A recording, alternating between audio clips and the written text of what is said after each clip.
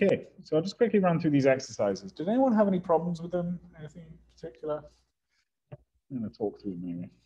Um, so, create a vector containing the values 1, 2, 3, 4, 5. Let me make this a little bigger uh, if I can. Um, great, that's easy enough. We have the numbers we want. We could just copy them. Um, C, we'll use the combine function and we'll just put in our numbers separated by comma. We're going to assign it to a new variable x, which will be our numeric vector. This isn't going to work, 1, 2, 3, 4, 5, if I want to go 1 to 100. I'm not sure if anyone actually bothered typing it out. But we can start to use our shorthand 1 colon 100, or we can do seq 1 from 1 to 100 by equals 1. And we get our vector 1 to 100. If um, we want to do a vector which is 0 to 20 that skips and goes up in intervals of 5, we'll use the seq function we saw earlier on. Although I haven't specified it's from, to, by equals 5. And this is, I know the order, so I haven't put in the variable names. Get a vector containing the values 1, 1, 2, 2, 3, 3. I think that's just as easy to type it in, to be honest. But just to make use of repeat, I repeat 1 twice, I repeat 2 twice, I repeat 3 twice, and then I combine them all together. Did anyone else have an alternate solution for that? There is, there is a way of doing that. I can show anyone at the end. Create a vector containing 1, 1, 5, 7, 9, 10. I think I'm just trying to be tricky. Uh, do that, and then I combine that with seq. So I get my two ones repeated. Seq 5 to 9, 5, 7, 9 by 2. And then I just added pen on to the end. So just creating irregular ways of making vectors. Create a vector containing values 1 to 10. We'll just do that shorthand here, 1 to 10.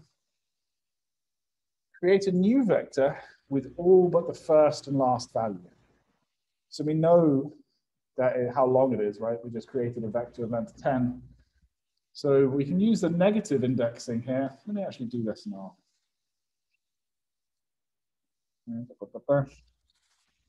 This is a useful example, actually. Um, so I got R open.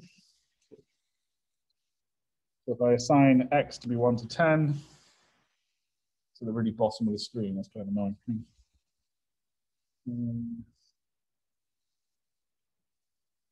I assign x to be 1 to 10. If I want to get the first value, that's easy, it's 1. If I want to get the last value, I know it's 10, so I could just do that. But the last value of a vector is always the same as the length of the vector. Okay, so if you want to take out the last value, you can always just do x length, can't type. So that's how you get the last value of a vector. That's something we're going to have to do a lot. If I want to get everything apart from the last value, I do minus, and then here I just combined those two together. Do C1 and this evaluates to be 10, everything apart from the first and last value. Um, and then I can do the same, but much, much less interesting example, everything apart from the second and the fifth, and assign it to a new variable here. Here I'm actually explicitly saying second and fifth. Create a square, a new vector of root, the square root of the sixth and seventh position. Okay, so to get the sixth and seventh position, sorry, um, I can just do x, and I can tell it give it a vector here of six and seven. What's kind of useful to know here is the square root can be applied to a vector. And if I do it, square root will give me the square root of the first value and the second. So it doesn't just need to be a single number, it just needs to be a single vector going in, and it will operate on every element in the vector. So do something a bit more. Root, uh, that's not right. That's definitely not right.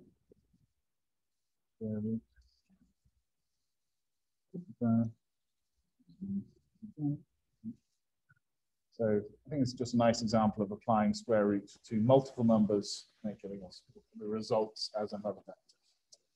Create a vector of alternating, alternating positions in the vector using another vector. So here we're just going to use seq, and this will create uh, 1, 3, 5, 7, 9. I can use that to subset X. Okay, this is interesting. Find the number of files in the present working directory. So if I run dir, and this, you'll all get a different result for this, depending on what you set as your present working directory and what files you set. That's my two files, and then I can just apply this one function we've learned length. List the first file. I can just do that with assigning it to X these are all my files, and then I can just index and get the first file uh, in the working directory. Create a vector of the gene names gene one, two, three, four. Create a vector of expression values as so, and gene lengths as so. So we just use the combine function three times here. Combine, get our genes, get our expressions, get our gene lengths. The useful thing to do here now is because these are all in the same order, we can actually assign the names from our gene names to our expression values and our gene lengths using this names vector. Um, using the names function, assign it the gene names, and then we get the same as just the values here, but we know the actual gene name associated to that. value. So now we can do something like find the longest gene. We should have seen max. So if I do max gene lengths, it's going to give me the longest possible gene length. Uh, maybe I could just run a bit of this just so we can see it in action. Copy. I've got gene lengths. What gene lengths we're looking at? I do max on that, it gives me the value for the longest gene length. And if I want to know which position was the longest gene length, I could do gene lengths. Which one was the max? It's telling me the second one's the max. If I want to know what that was, I could then subset down to that. And then I know it's gene two there, I can see the name but I could extract that name directly just by doing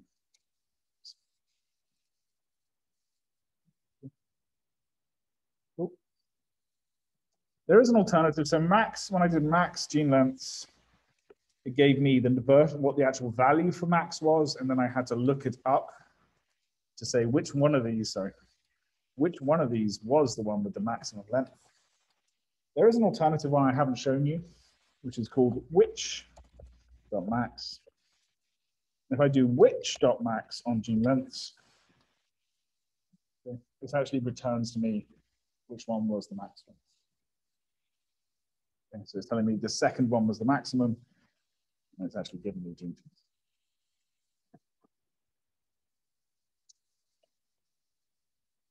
Um, well, Identify genes with a length greater than 100 and expression value greater than 110,000. Um, we can just here just copy and paste that, or even just we can just look at it here. So all this is is an example of using two vectors to create a logical operation and combining them by using the AND. So anywhere we have gene lengths greater than 100 and the expression was greater than 10,000, subset the gene names down to them. And then that should be very easy. It should just give us mm. G4. Okay, the last ones here, I call them bonus questions because these are going to come up in the next session as well once we start to look at tables. Calculate the expression over the gene length for all genes. So I'm not sure I phrased that particularly easy to understand. So this would be very simple RNA-seq. You would normalize to the gene length. The longer a gene, the more chance of having signal on it. It's long. So one way to do that is just to divide expression by the gene lengths. Really, I just like this because it's a nice example of dividing one vector by another, that vector by that vector, And it will do it in this pairwise, divide the first one by the first one, second one by the second one.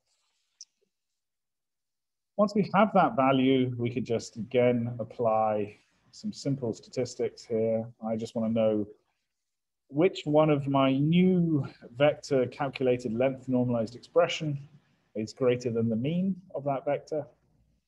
And I can use that to subset my gene names, and it's telling me gene one is greater than gene three, sorry, it's greater than. So just this one was greater than the mean. Okay, so that's um, vectors. Let me know if you have any problems or any questions. I'll be here after this session as well, so we can go through it. I'm going to make this small again. The next thing we want to talk about is matrices. So whereas vectors are just one-dimensional and ordered, matrices are two-dimensional and ordered. Actually, that's not true. They're multi-dimensional, but typically we look at them as two-dimensional. And actually, most of the time when we're working with numbers, I won't go too far from my laptop. Am I recording? Most of the time, um, when you look at data, it kind of looks like this in Excel. We have um, values here in light blue. And for each of these values, we will have column names and row names. So at the moment, we've just dealt with names. And that's, that's good for a single dimension. But if we want to find two dimensions, you know, row position, column position, or row name and column name should get us there. So we're used to looking at tables. Um, and in R, one of the most basic type of tables is something called a matrix. Uh, most programming languages have the idea of a matrix, and they act all very similar. We can create a matrix in R, surprisingly, by using the matrix function. We just need to give it a couple of arguments. We need to tell it what data we want to put in the matrix. And we need to tell it the number of rows and the number of columns. These obviously, hopefully, need to be compatible. So here I'm telling it make five rows uh, and two columns. I'm giving it the data one to 10. And you can see it fills up our matrix by column. So it's one, two, three, four, five, six, seven, eight, nine, 10. I can do the same kind of dimensions, but in reverse. n row equals two, n col equals five. It's a wide matrix now, but it still works by column. One, two, three, four, five, six, seven, eight, nine. like I just said, spelling it by column by default a lot of the time, actually, we want to work by row when we're filling these things in. And sometimes we're converting a vector to a matrix. May want to go by row. We can very easily tell our function matrix go by row just by saying by row and now setting that to be true. Okay. So without setting this argument, it's going to go down the columns. By setting by row equals true, it's going to go one, two, three, four, five, six, seven, eight, nine, ten. find the dimensions of matrix, similar to how we have length to give us the length of a vector. We have a few functions for matrices. We have dim, which will give us the rows and the columns. Five rows, two columns. We have n row, which will give us five rows, and n col, which will give us uh, two columns. Number of rows, number of columns, dimension. a matrix can actually be created, and a lot of the time you will use this function, but a lot of the time you're going to get your matrix from reading in from a file, right? So you're not actually going to create matrices, uh, but using the matrix function too often. But you may find you want to join two matrices together quite often. So cbind and rbind are a family of functions which allow us to join by column or by row matrices. So the first one is column bind, cbind. And this allows us to attach data to a matrix as columns. Okay, so here I'm just going to create a vector 1 to 5. I'll create one which is 11 to 15. So these are the same length. Should be able to just stick them together. And then I'll create Z, which has only got a length 2. Now, if I c-bind x and y, we get this matrix which we've created, and it's our matrix column bound. So it's one to five down here, 11 to 15 here. And what's also nice is it's assigned for us column names. So if we look when we made the matrix before, there are no column names by default. It's just one, two, three, four, five. It's telling us the column position and the row position. When I used X and Y and cbind, it tried to do something clever for us, and it called the first column X and it called the second column Y, which is quite neat.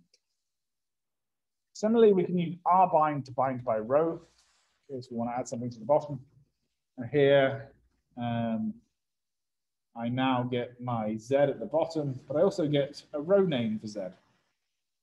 I don't have row names for the rest of them, but because I was R binding, it's taken the actual vector name Z and it's attached that as a.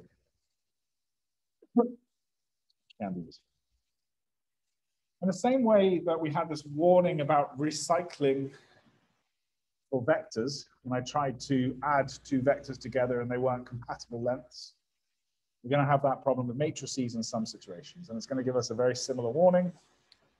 So here I'm going to say, give me a matrix one to five. I want two columns, I want three rows. So I need six values, but I've only got five. It's going to give me this warning. Warning matrix data length five is a, not a sub, multiple and multiple. And it's going to do that similar recycling. It's going to go one, two, three, four, five, and then it's going to start from the beginning of the vector again and put one. There are a few situations where that's actually useful to you, um, but it will give you a warning if you make that mistake. Um, similarly, we have the same problem with rbind, add all vectors, um, and in this case, this longer vector is going to be clipped. So if I try rbind our recycled matrix 2, which is this here, one, two, three, four, five, one. And I try and give it five things to kind of bind to the matrix. So I try and give it a vector of length five. It can't give me this incompatible Okay. So it flips the longer one. And it just gives me the first two. So it's going to give you the warning, but this is what it's going to try and do to fix the situation. Not very rarely, if you are in a situation, do you actually want it to proceed? You probably want to fix what's happening. So we saw that it automatically assigned some row names and column names here. We have previously seen um, we can assign names to vectors. We can do exactly the same here. Once we've created our matrix, I can use the col names function as opposed to the names function. And here I'm going to assign uh, some new names which I'm creating using a paste function. Let me show you a little bit what is paste function. Occasionally I'm going to expose us to new functions as we go along. You can always just do paste. Have a little bit about what paste does. Concatenate strings, so it joins strings together. One or more objects which be converted to a character vector. So we give it our character vector and we tell her the character string to separate our terms so how it's going to kind of concatenate these things together. So if I just run this line, I can see that I've set sep to be underscore, and it's going to connect column to a vector of one to five, and it's going to separate the column from these values by this separator underscore. So we have column names, which are reasonably sensible, column one to five. In The same way we have row names, I just call them row. I just need two of them, separator is underscore. Now we have a named matrix. So I don't need to just have uh, numbers across the top. I have my column one to five, row one. Similarly, just as I can use names to both set my names and to retrieve them, I can also use col names to get the names from the top of my matrix and row names to get the names from my rows. we saw, we saw how we could um, subset a vector using square brackets and indices. And a vector is an ordered collection of values, right? So we can go one, get the first, fifth, get the fifth. Actually, in matrices, it's very, very similar. except we need to get an X and Y. We need to know what column and row we want. So we can do that then just by using the square brackets. And now we have to set before a comma the row of interest we want after the column, comma, the column of interest. We could already see that kind of in place when we built the matrix. Because here you can see it's comma one for this column. That's the first column. Column two, that's the second column. One comma, nothing is the first row. Two, three comma. So it's already showed us a little bit about that. Okay, so if we have our narrow matrix now, this is our one we created earlier on, and I want to get second row, first column, going to be rows, then columns. I can just see it here as well. It's going to be two, one. So if I set square brackets two, comma one, pull out that value, and that's that position I wanted. Similarly, we can actually get whole rows or columns in one go.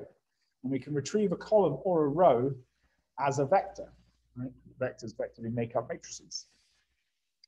So if I want to get the second column, I could do narrow matrix, I do my square brackets, I put nothing before the comma, so I don't want to specify any particular row, but after the comma I specify I want the second column, and then it's going to pull out the second column here. Similarly, I could do that for the row, and pull out the third one. I can also apply kind of multiples of this. So if I want to take, just like with vectors, two rows at a time, I can take two and three. It's going to give me the second and the third row. So the second and the third row. Um, but because I'm taking two rows, it's going to return to me a matrix. Right? It's not going to return to me a vector. We already set our column names, but here I guess I'm resetting them again.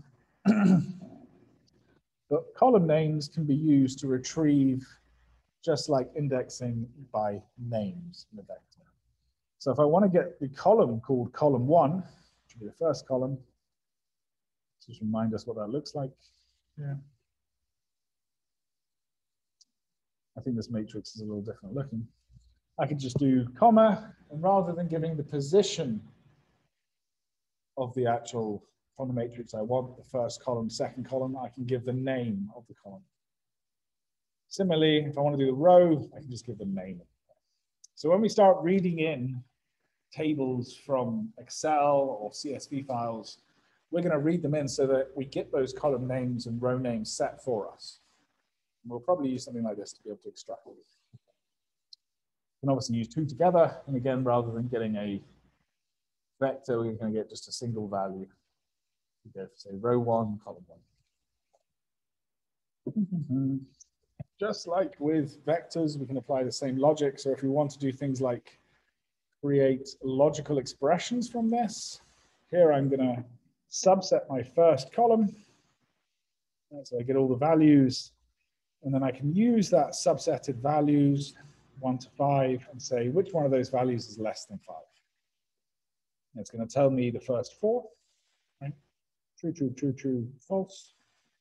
So then I can get a logical vector from my matrix just by asking first column, which of these are less than five. Now we can do more indexing, but again, with two dimensions, we can do something slightly cleverer. And we're going to say from that first column, give me this true, false, whether or not the value is less than five, and then subset my whole matrix by row before the comma and values. As with vectors, and we're not going to deal with matrix multiplication here, very simple arithmetic operations. Matrices can have arithmetic operations applied to cells, rows, columns, or the whole matrix. So if I want to add 2 to the value of narrow matrix there, I can just do 1, 1. That will pull out my first value. I add two to this, and I get three. I could also do a whole row, and I can do narrow matrix. First row here, one comma, so it's going to be the first row. And I'll add in two, which will give me three and three and eight. Three, yeah, two, three and eight. I can also apply arithmetic operations to the whole matrix. so in this case, I'll use the mean function and I won't subset. I'll just apply it to the whole matrix and it will give me a mean. Is that right? As with vectors, matrices can also have their elements replaced. And we do it in exactly the same way as we do with vectors, except we just need to be a bit more explicit because we've got two dimensions. So I can replace the first column, first row one with 10. That gives me 10. But if I decide I could replace in one go either all the row, one whole row or one whole column, and here I will do the whole of column two, this column here, and I'll replace that with one. So we can operate on matrices, arithmetic operations, replacement, subsetting using vectors, uh, sorry, using logical vectors, just as we have done for standard vectors. One thing which is uh, frustrating about matrices, uh, and it's, you know, internally you can understand why. Um, it, wants a matrix to be all one data type so that it can apply an operation to the whole table. So this makes a problem um, because if we accidentally add a character or a string to anywhere within our matrix, the whole matrix is going to become string. And I can really show that in practice. So this is our narrow matrix, one to five, six to 10. It looks like this. If I times the second row by two, it's going to give me, I've just set the whole of the second row to be one. It's going to give me a sensible result. It's going to turn every one, it's going to times by two, so I get two, two, two, two, two. If I then set one of my values, just one value in my matrix to be a string, you can see that ones and twos are no longer true numerics. They're wrapped in this quote, which means they're actually like a string, a string representation of two. And this just means now if I try and times that second column by two, it thinks that it's a string and it's not going to allow me to do that numeric operation.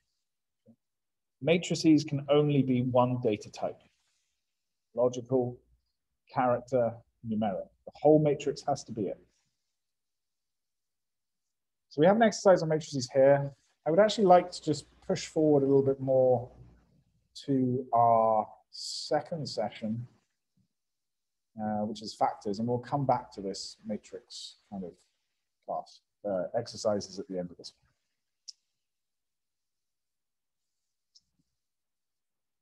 So a special case of a vector, and I think this is something which is really cool about R, is data frames and factors. And like this is something which Python has worked hard to copy using the Panda library and various other libraries. So a special case of a vector is a factor.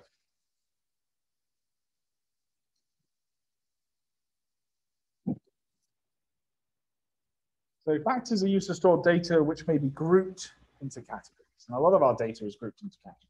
So um, it's often very important and useful inside R. By specify, specifying this data as categorical by saying it's a factor, it's actually going to allow R to handle this data slightly differently. So means certain functions will operate on it differently. And you will see as we get further on in our analysis but factors are actually important for things like plotting um, because they have this concept of levels. So what is in my data, what categories are in my data. And it's also really useful for some analysis later on. Okay, so to create a factor from a vector, it's very easy. We just create our vector first. And then we'll do here, uh, male, female, female, female. And that creates a vector, like our standard vector. If I then apply the factor function to that, it then turns this in to a factor uh, R object. And if you can let's just look at that inside the actual, when you try and you know, type that in and see what R prints out. It's going to print out something which looks like a vector. It's going to give you the order, male, female, female, female, but then it's going to give you what it calls levels. And those are all the categories present in that factor. Okay, so in this case, we have female and male. Those are the two categories in this factor. By default, R is going to put them alphabetical order. So it's going to put female first. This may affect us later on. This levels order slightly affects the order that comes out in plots. When we do differential analysis, it will choose female as our baseline, right? So levels are important, and we'll show you how to manipulate them later on. If I just want to have a look at what levels I have in a factor, I can just do levels, give it the factor, and it will tell me. So levels is also very much like running unique on a vector, right? It's going to give you just unique instances um, of the categories in your uh, here. One thing we can do straight away different, if I run summary on a vector containing the same information, so this is my vector example, I just apply factor to that and I can turn it into a factor example. If I do summary on that, the first one's kind of, I'm sure useful. So it tells me the length, tells me the class, character, tells me the notes. If I do a summary of the factor, it gives me the occurrence. Right? So it's already done some type of statistical transformation. It's told me how often females were in there and how often males. Right? I have three females, one male. So just by doing summary on a factor, it will do something different. So summary will do something different on a factor than it does on a factor.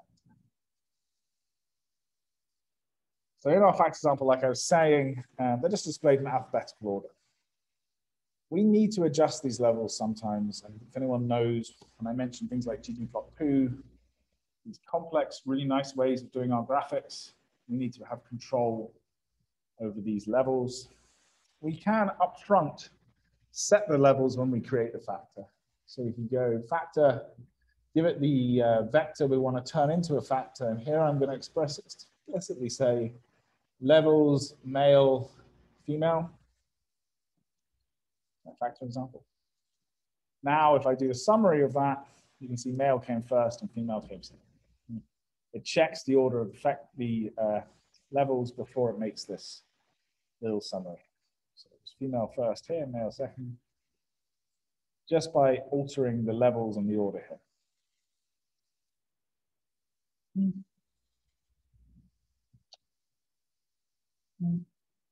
So in some cases, there is no natural order, right? We wouldn't say one is greater than the other. Right? Maybe there's an order in how we would like to plot it and set it out.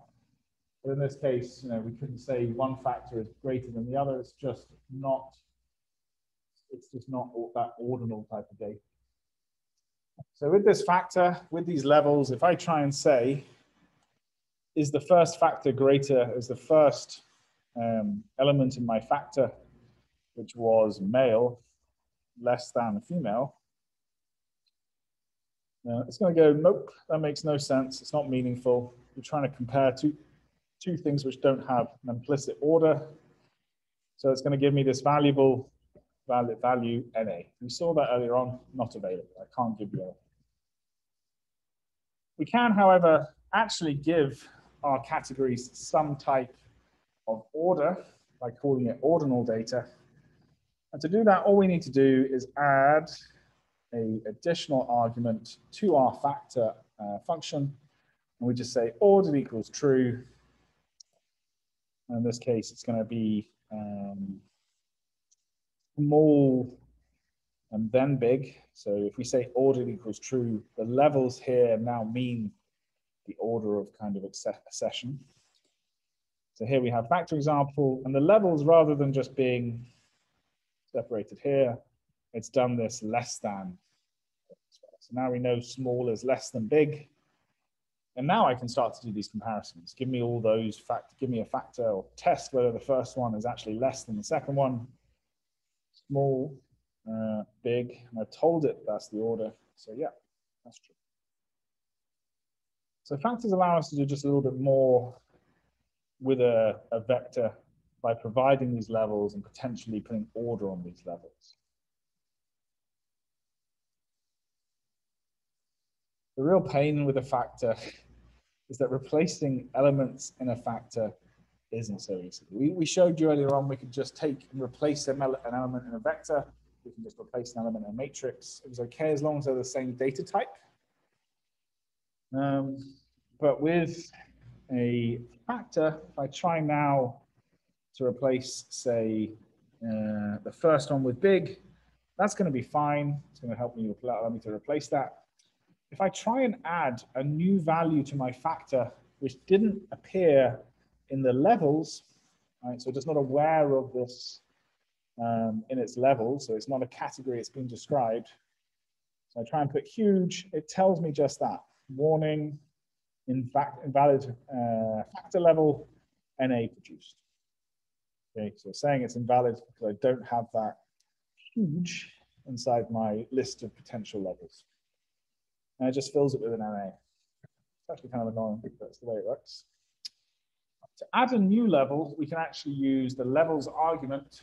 So I can set levels on my factor. Um, and here now I'm going to add huge. And now if I assign the first one to be called huge, we can see I don't get an NA. It accurately fills it. That's great. We got that way. There will be data frames today. I've lost track of what time we actually should be going. It's until four this session. I will stop a bit early. I don't want to overwhelm us today.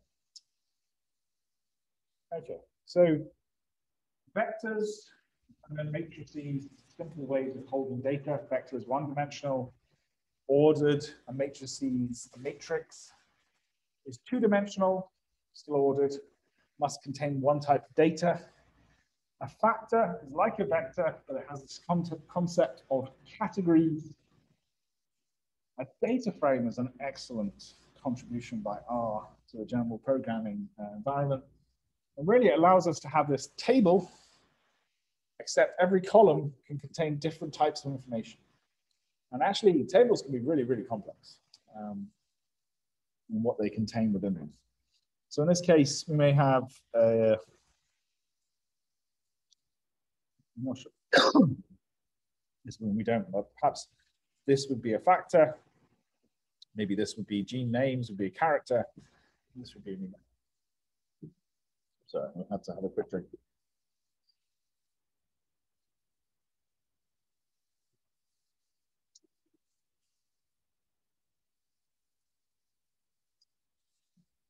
Um, in R, we can make use of a data frame object, uh, which allows us to store tables with columns of different data types. Um, data frames usually, matrices will hold typically our numeric output from our assay or something. We know it's all numeric. Data frames are great for holding your metadata. Right, this sample has this numeric value, this category, uh, this name, gene name. This is why data frames are so good. So in this case, we're going to use this data frame uh, function to create a data frame from three different types of um, uh, variables. So we have patient name, and that's a standard vector. We have a factor made up of a vector of male and female. So I think I just repeat that twice, and then I turn that into a factor. I haven't set levels, so it will just be in alphabetical order. And then I'm going to give a numeric vector here, 132, 20. And then to create the data frame, I'm just going to do data frame. And in there, I put the name of the column I want, and I assign the value to that name. So I want name, I want a column called name. I want it to have the patient name. I have a column called type, and I want it to have the patient type. I have survival time, and I want to confirm that. Okay, so now we have our first data frame containing different types of data along our columns. Data frames can act just like matrices in terms of indexing.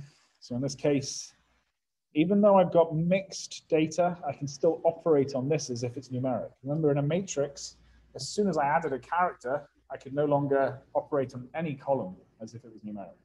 Here I can, and I can do data frame example. I will subset down to the survival column. And then from that column, I just want to know which of them are above 10. And that's what I will use to index the rows of my data frame. So it's just going to look down this column. It's going to find the ones where they're above 10. It's those ones. And then subset down to them. And I have my whole data frame subset just based on that column. A nice feature of um, data frames, though, is that we don't need to necessarily use the square brackets. We can actually pull out a column by just doing this dollar sign. So it's the name of your data frame, which I just created called df example. And then I can just do dollar, dollar, and then I type in the name of the column and it will take out or pull out that column. So similarly, I can kind of replace this one here where I do the square brackets and I comma and then the name of the column. I can just do dollar name of the column and that will give me the same result. What's really cool about that is that R will allow some level of auto completion. So as long as this here after the dollar is enough to uniquely name a column, identify a column, it's going to pull out that column of interest. So I don't think any of my columns were particularly, yeah, uh, survival time, type, and name. I could do dollar $s. There's only one column it could come, potentially come from. So that's a nice feature of R, and it really separates it a little bit from the non-interactive languages. And obviously, if you're in the uh, interactive session, uh, R, R Studio will fill in the rest of the name for you.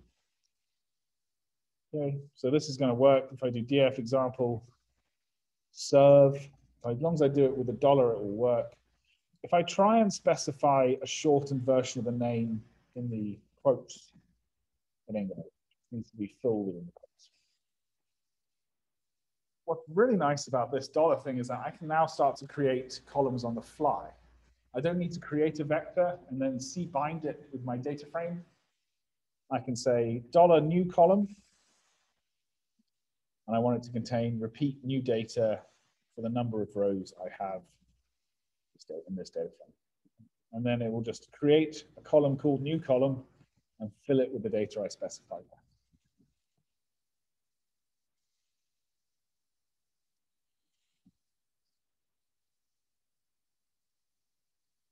We can do the same or similar assignment that we did for the less complex data types um, so here, if I want to replace parts of my survival time column, right, this is a numeric column, so it's very easy. I just specify the rows I want to operate on. So I'm saying anything with survival time less than 10 in the survival time column, now just set them to zero. So maybe I'm, I'm baselining here. I'm saying if it's less than 10, it might as well be zero. So I specify the rows I want to operate on. I tell it I want to replace within the survival time column, and I assign zero. Easy. But we have the same issue because data frames allow us to have factors, vectors, make you know other types of objects within them. They can have a character vector or a numeric vector side by side. Uh, our first column or second column here, sorry, was a factor when we created it. So I created this column and I called it factor, rep, male, female. This means uh, when I try and replace anything within that column with something which wasn't originally in that column, the levels won't be in there. So sadly, it's going to send say invalid factor level type, or sorry, other wasn't in my original list. It wasn't in the female or male. So it's going to put an NA. This is just like as if I was working on a factor, So now my factor's within the data frame. So, you know, we can fix that again, um, and we just have to do something similar to what we did with an individual factors. I'll recreate the data frame here because I just destroyed it. And now what I'll do, operating on that second column type, I'm going to set the levels be something new. And what I'm going to do is take the previous levels, and just combine them with the other. And effectively just adding le another level to it. And now if I replace type with other, we can see we have a data frame and this has gone in, no warnings. I've managed to work on my, I'm just gonna get a sense of where I am.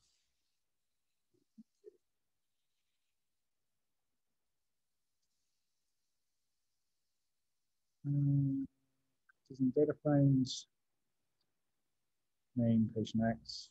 I guess that's just to show that it doesn't matter when you're working on standard kind of character.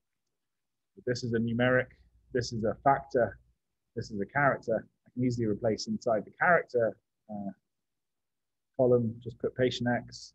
Because it's a character, it's not going to give me any warnings. A really useful, oh, sorry, yeah.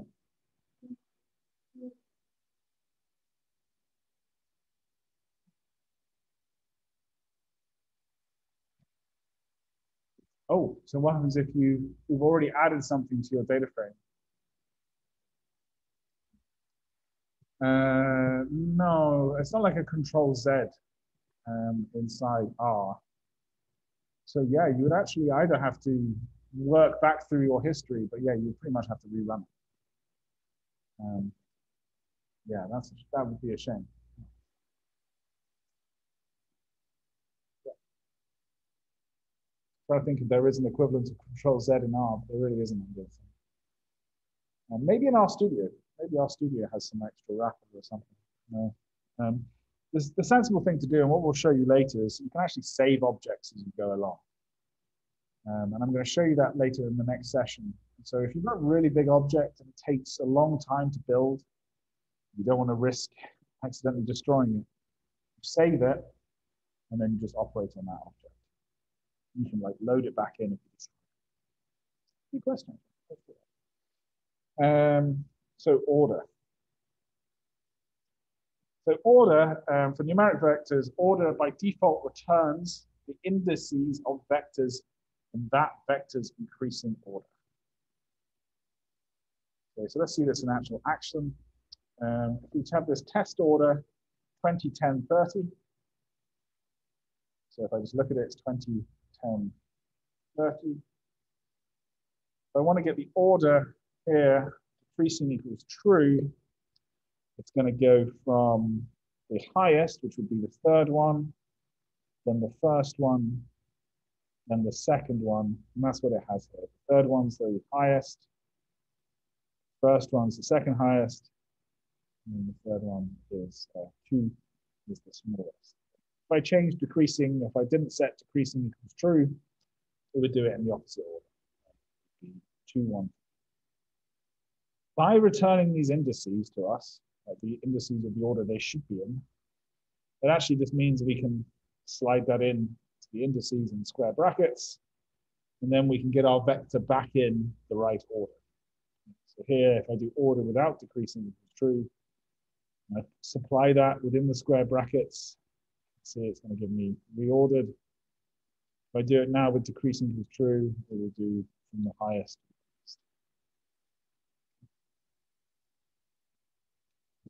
When a vector contains NA values, it's the first time I talked about how we do deal with NA values. When it contains NA values, these NA values will default, by default, be placed last in the ordering indices. So if somewhere in my set of things I want to order, there's an NA. R will do the ordering and then it will place the NA at the bottom. That's worth noting because sometimes when you order a table, you've got to remember the bottom of the table isn't necessarily the lowest value. It could be NA values. If we're worried about that, and for whatever reason I want to take the bottom of the table, we can actually change NA last to be false. And it will put the NAs at the top of the table. It just wants to deal with them in a sensible way. Right? So it's either going to have to put them at the bottom separately or the top keep them out of it. Questions? So then this order function becomes really useful with matrices. And I want to reorder my data frame by those who lived longest after cancer treatment. I can do my data frame here. I can then pass in the order to the row indexes. That's what I want to order. And I'm going to say order by this column, survival column. I don't need to say the full name because it's dollar. So dollar serve will give me this column. Decreasing equals true, so it's going to order it from highest to lowest, and I'm telling it to operate just on the rows. So it's going to order my data frame by row using that highest list. You can also use order operate on many columns. Occasionally you're going to have ties, or maybe I want to know order within our type here first, male or female, and then I want to order by survival. So to do that, I can use example, uh, I can do the order. I give it the first part of the data I want to order by here. First, I want to order by type. And then within type, I want to order by survival. And then I want it all to be decreasing.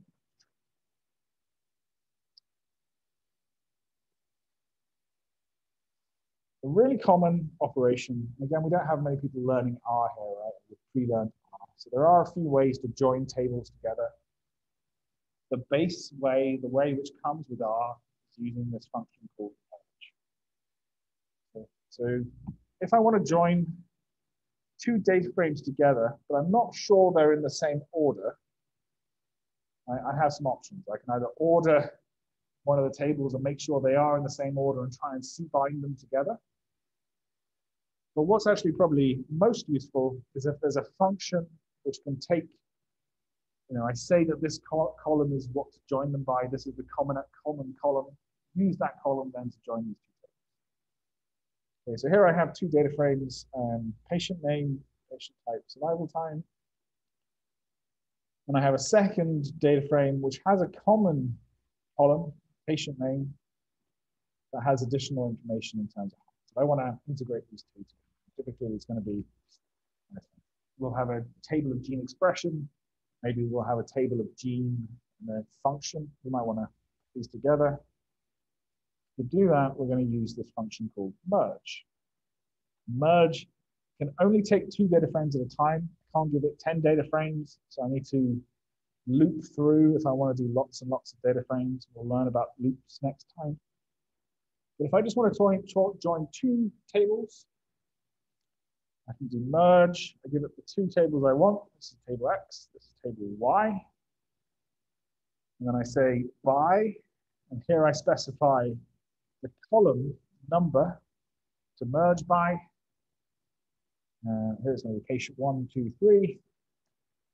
Um, I tell it uh, all. So if I say all equals true, it's going to try and keep information from both tables, and it will fill in missing information with NAs. If I say all equals false, it's only going to give me uh, information from these data frames where it has something in common. So in this case, I've said all equals false. I don't have any information from patient four. We didn't have any height information. I only have information on the first. Only those in common. Okay, and then I guess let's. So I think for today, I'm going to call that as the end. We have a quarter of an hour, I think, left of this session. So it is our intro day, um, and I want to upload some of these videos to start as a good start our YouTube uh, for this in a good way. We have actually two exercises we covered. They're both going to be on tables. So I don't think we've done the matrices one yet. This should be quite straightforward, quite short. What you can see is that this thing we calculated previously, length normalized expression, I showed you how to calculate that in the last example, last exercise. So if you get lost, just go back. I think I probably show you where I say that, hint, we calculated it here. For the data frames, I think it's a little trickier. Um,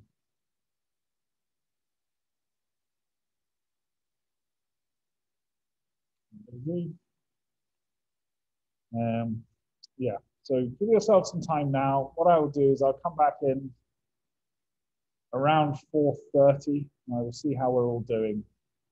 Um, and if people are happy enough, I will start to go through the exercises. Yeah. because this is the end of the session, please do not feel you need to stay in this room. If you want to go off back to your lab, if you want to go, as long as you come back on the Zoom to run through it, that's fine with me.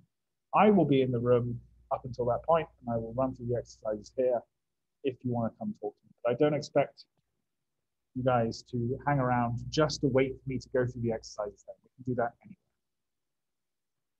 I'm going to pause my recording.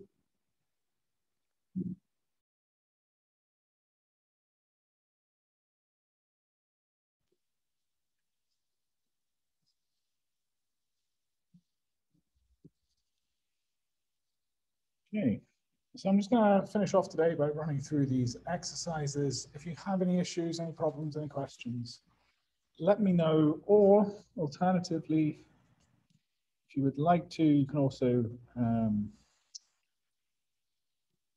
find my way back there. For every page, if you are lost, you can try our getting help and you can log your question and you'll get a nice answer from someone in my team. Let me delete my question. I'll have to do that later. Okay. Okay, so where are we? Matrices. So we have two sets of exercises, matrices first, and then factors and data frames second.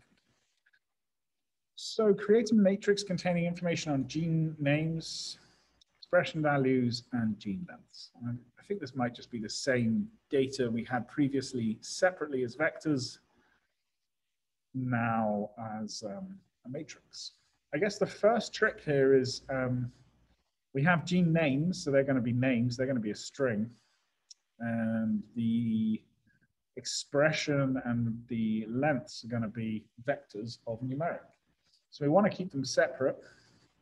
we want to take advantage of having these names, right?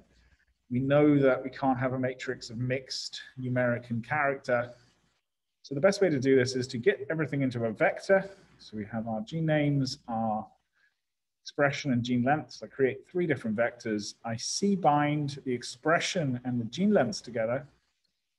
So by doing that, I'm going to get a column called expression and a column called gene lengths. But then I don't want to C-bind additionally the gene names because it will ruin my matrix. So I set the row names for my matrix to be the gene names. That's a sensible thing to do because now we can just use the gene names as indexes when we want to get gene three, what's its expression level? I can just index them. And um, update the matrix contain the expression over gene length. So this is this length normalized expression, and we have the solution in the last one. Here, I'm just going to take the column of expression and I'm going to subset my expression column with the standard indexing it's a column, so it's after the comma. Yeah. And then I name the column I want to take. And I want to divide it by the length. So I can do a similar trick where I just subset my matrix to the gene length column, comma gene lengths. This gives me a new vector. And then with that new vector, I can now C-bind that there. It's all numeric, so I still have a valid matrix I can work on. Um, and then I just got a little bit more information there. If this was a data frame, and I, maybe I do this in the next exercise, we could directly assign a new column to our data frame very easily. But it's not, it's a matrix, so we have to C-bind it on. Create a smaller matrix containing genes longer than 200.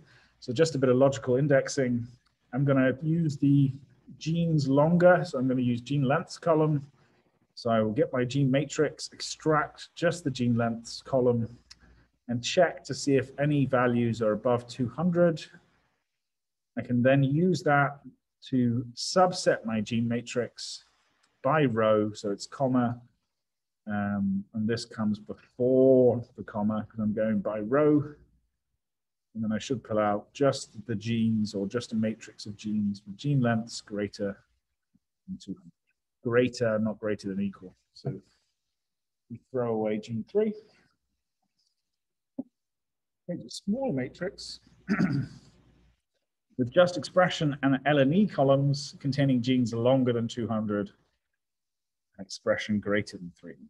So really it's the same as above, except I have an AND expression greater than 300. So I need to use my AND logical kind of operator here. So it's as above, greater than 200, and now looking in the expression column, that is greater than 300. So that's going to give me the two, the rows I want. To get the columns for expression and LNE, I just need to provide the uh, vector of the names of the columns I want. And It's going to do column name indexing. So it's just going to pull out the expression and the LNE column. I could have put C uh, 1, 3, would have a similar effect, right? But here, because they have column names, I can name a vector of column names I want to extract. Calculate the sum of expression and um, I'm calculate the sum of the expression and length columns for only genes with a length greater than 100. Okay, so what I could do here is I really I want to subset first to just genes longer than 100. So I could do that using this kind of logical here, gene matrix, get a gene length column, and just pull out the values longer than 100. Um, and then if I wanted to get the sum of the expression and the sum of the length column for these genes, I would then pull out the expression column for the rows which follow this. And then with that vector, I can apply sum. And I have to do separately for the gene lengths. It's the same logical, I just pull out a different column. And again, I get sum. And then that would be my gene length sum, my expression sum. You could do this a different way, and I just wanted to give you an example here. You haven't seen this function yet.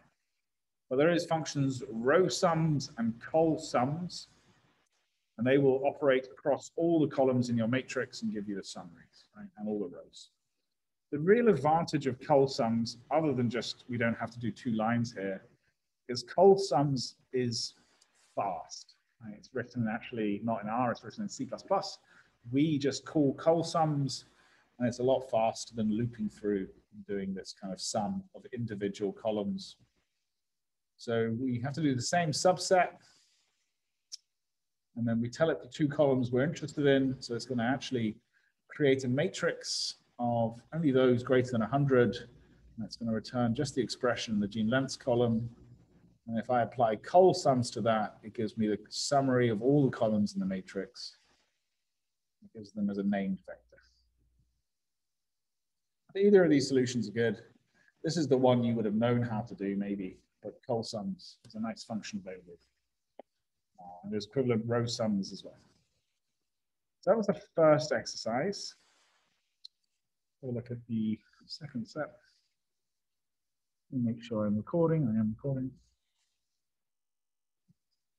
Think this is a little bit more complex. Okay.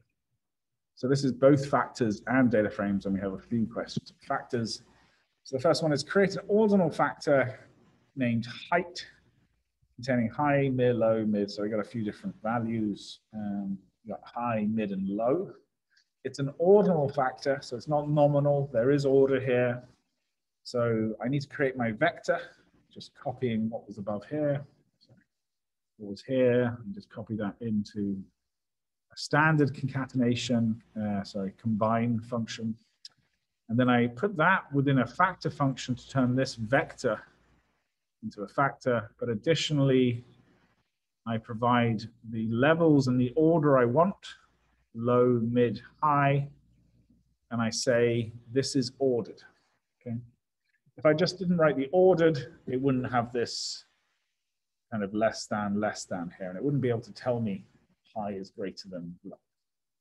Okay, so it's important to put ordered here now, having done that, I can use a, I can create a logical index, um, and then we're using that logical index, create a new factor of those where the height is greater than low. Okay, so I got my ordinal factor I just created here. Okay, I just say ordinal factor when it's greater than low. It knows from this rule here the order of um, low, mid, high. And then it's just going to subset my factor now to just those which pass this logic. And so I don't have any low here anymore, just high and mid. But the levels didn't change.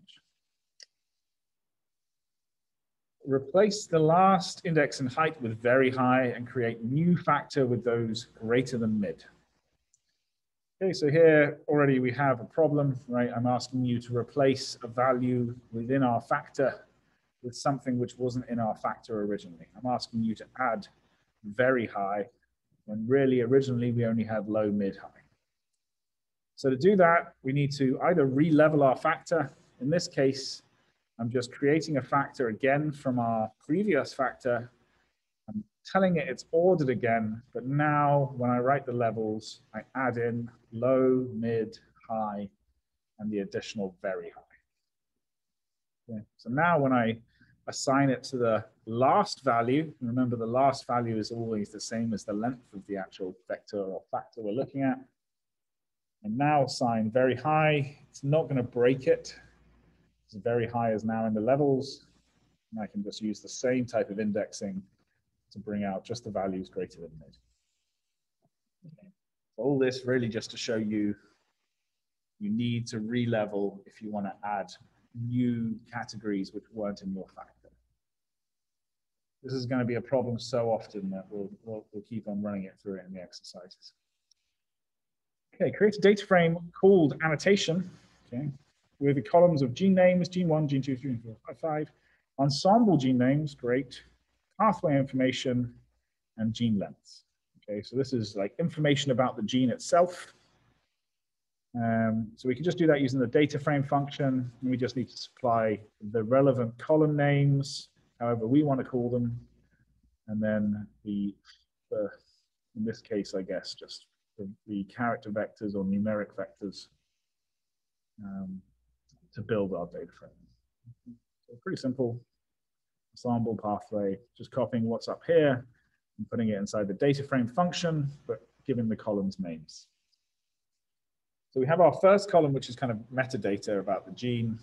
Um, the second data frame we want to produce, sorry, and now contains uh, the gene names, but has some expression values associated to them. Okay, so this is like 1,000, 3,000, 10,000, 5,000. And we'll call that the expression values for sample one. And then we can have expression values now for sample two. And it's just going to contain not necessarily the same genes. Are these the same genes? An additional gene here, and then some expression values. So this is very much like you would get from any type of RNA sequencing experiment. You're going to have data frames or information containing gene expression level. And then maybe in a separate file somewhere, you'll have some more information on those genes so that you can interpret them. Getting some frantic slack, so I just want to make sure everything's okay.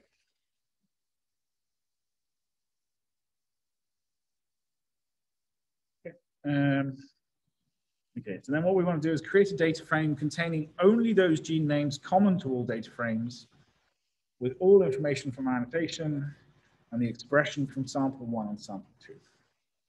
So if we just want the gene names which are common to all data frames, that means when we start merging, we're going to use the all equals false argument because we just need them to be common. So the first thing we'll do is we'll merge the annotation data frame with our sample data frame. In this case, it's a little bit more complex because they have to merge by different column numbers. So in this case, uh, annotation, I want to use the second column. So now I need to say by dot x, because this is x, this is y. Okay. If they were using the same column position, I could just say by equals and say, you know, the position, the number of the column, which is common. Um, but because they're using different columns, yep, then we'll have to, um, yeah, so for the annotation, we're using the Ensembl, which is our second column, and that's the first column in these. I'm going to say by dot x equals 2, by dot y equals 1. All is false, and that's going to give us our table, which contains sample 1 information and the annotation. I will then merge sample 2 into this, and now I don't need to say by equals um, by equals x and by equals y. I just need to say by equals 1. Um, I'm actually going to show you in R actually why, why we do that.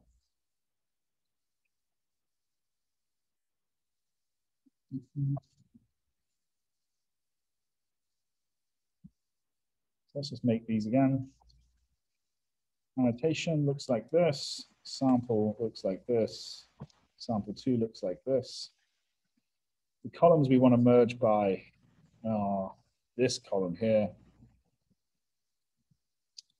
there are a few ways we could do this. One is just to merge uh, annotation sample one. Sample one. And I can either say by dot x, which is annotation. I will use the second column, by dot y. I will use the first column here. And I can do all equals false. That will give me just those in common. If I did all equals true with the additional things, yep, you can see I don't have an expression value, so it filled it in with NA.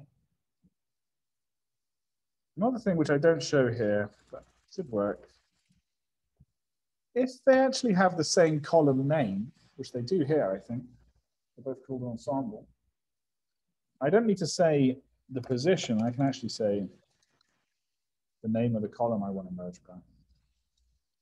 It's actually a lot easier.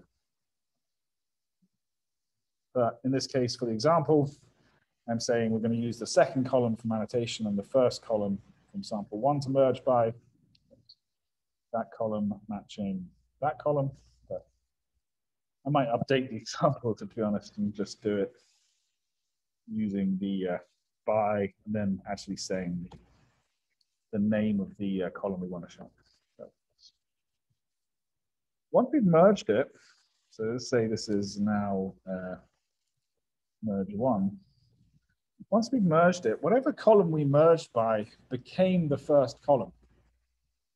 Okay, so now when I want to merge in sample two, they're both got the first column. This is our merged file. First column is now Ensembl.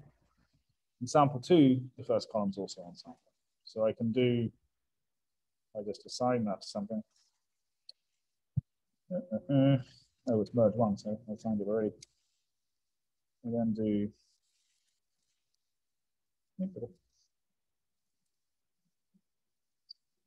merge one.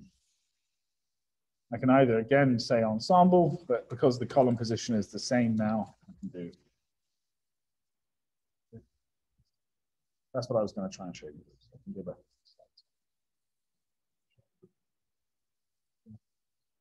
for anyone, you know, as we move on on the classes, there are easier ways to merge multiple data frames, and I'm going to show you that in, in a little bit. In fact, I think in our next session, I'm going to show you how you can loop through, merge data frames from multiple files. Mm-hmm. So we've added them, add two extra columns containing the length normalized expression for sample one and sample two. So now we can just do uh, expression X, so that's our first expression, um, over the gene lengths. I can assign this directly to a column now because this is a data frame, so I can just use dollar and give it the name of the column I want to create. And again, here I can do the same for my second one.